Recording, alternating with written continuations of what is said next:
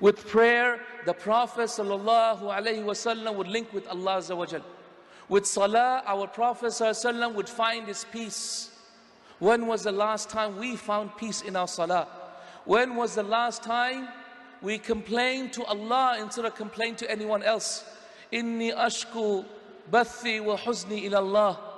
Verily I complain of my, of, of my problems and my worries only to Allah Azza. Let me give you the example of how Rasulullah sallallahu alayhi wasallam connected with Allah.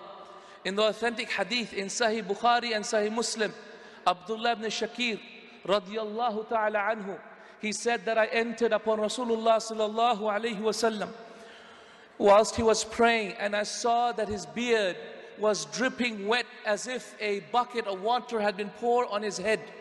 As if a bucket of water had been poured on his head and his beard was dripping wet from crying from the fear of Allah Azza. Ya salam, can you imagine that? Our Prophet ﷺ crying so much from the fear of Allah. Can you imagine that?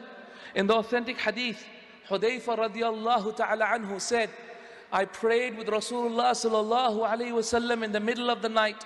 And he, in the first rak'ah, he recited Surah Baqarah, Surah Al Imran, and Surah Nisa. And he stopped at every verse where Allah mentions Jannah. And he asked Allah, Oh Allah, let me enter Jannah. And he stopped at every verse of Jahannam. And he said, Ya Allah, save me from Jahannam. Every verse, Ya Salam. Six to seven hours of praying at night. And in the morning, jihad in the cause of Allah. With no food to eat, nothing to drink and fasting for three to four days at a time.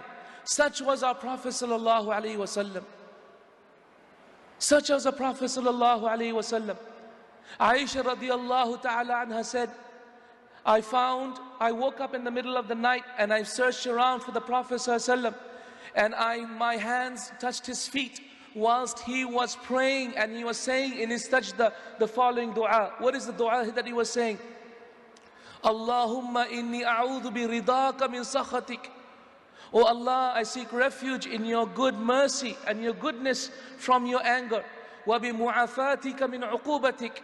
And in your forgiveness from your punishment. A'udhu bika minka. And I seek refuge in you, from you. La uhsi thana'un alayk. I cannot praise you adequately. Anta kama athnayta ala nafsik. You are as you praise yourself. Look at the way the Prophet praised Allah. Look at the way his heart went out to Allah. Look at the way how he was doing it purely without telling his wife, sincerely between him and Allah alone. In the authentic hadith, Ibn Abbas radiallahu ta'ala anhu, he narrated that he once prayed with Rasulullah sallallahu alayhi wasallam at the middle of the night.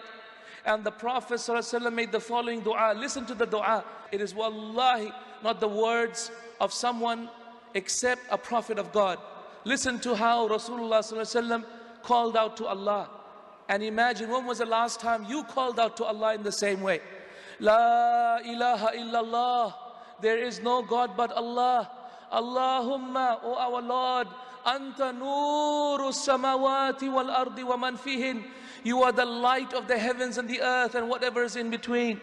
Lakal hamd, for you is praise. Anta fatiru samawati wal ardi wa man fihin. You are the originator of the heavens and the earth and that which is in it.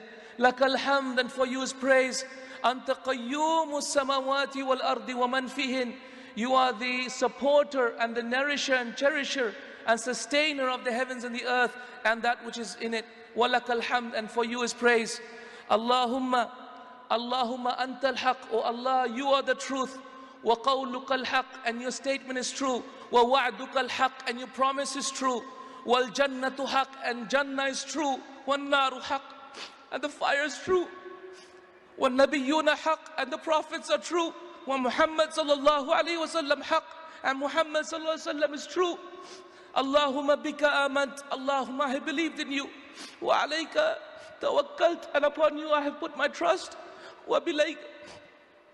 Wa ilayka hakamt. And to your judgment I have submitted. Wa alayka wa ilayka khasamt. And to you I complain. فاغفر لي ما قدمت وما أخرت Forgive me that which I have done in the past and what I have yet to do. وما أسررت وما أعلنت And that which I have done publicly and that which I will do in secret.